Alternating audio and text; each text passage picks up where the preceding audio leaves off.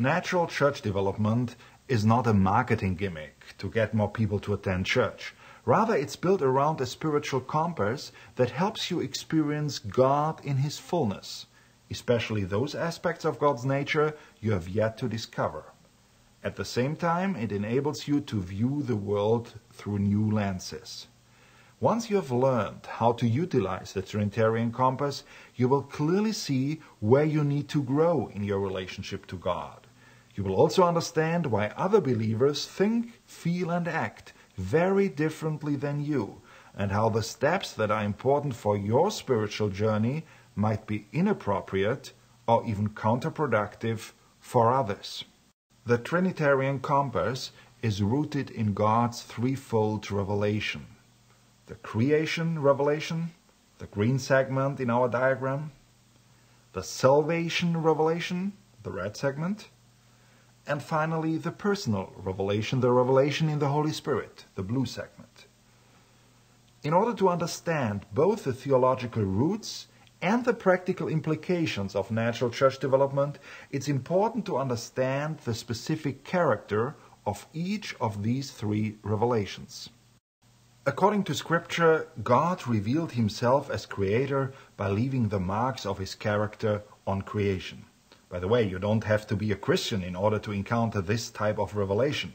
Whether you are a Muslim, a Buddhist, an atheist, or a Christian, when you turn to creation, you can see the fingerprints of the Creator.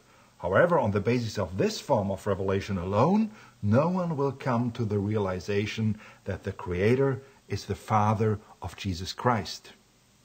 The salvation revelation, the red zone in our diagram, has a different character. Jesus is the one in whom we definitely see God for who he really is. In Christ, God became man. In him, all the fullness of the deity lives in bodily form. He is the one who reconciles us with God. Through him, we receive eternal life. We refer to the personal revelation, the blue zone in our diagram, as the time when what God did for us objectively in Christ becomes a personal, a subjective reality. Through the Holy Spirit, Christ for us becomes Christ in us. The revelation of the Holy Spirit is the revelation in our hearts. It happens, for example, when a person becomes a Christian. Natural church development seeks to reflect all of these three colors. We distinguish the reflective, the proactive, and the affective sides. The focus of the Green Zone is on tolerance and social justice. Topics like science, art, and politics have a prominent place in this color segment.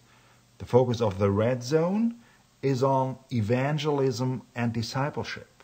Topics like scripture, devotions, and personal ethics play an important role here. The focus of the Blue Zone, finally, is on emotional health and spiritual power, with topics such as worship, signs and wonders, and spiritual experiences. The message behind the Trinitarian compass is a message of spiritual balance.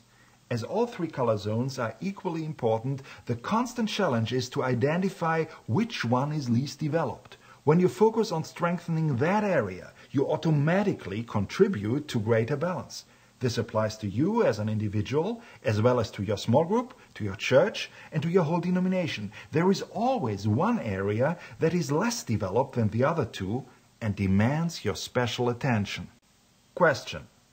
Do the figures in this picture move in the same direction or in different directions? When asking this question in conferences, about 50% answer different directions, while the other 50% opt for the same direction.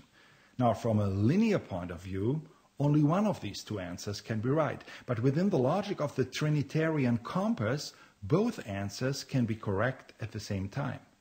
In fact, all of these figures move in the same direction, which is toward the center.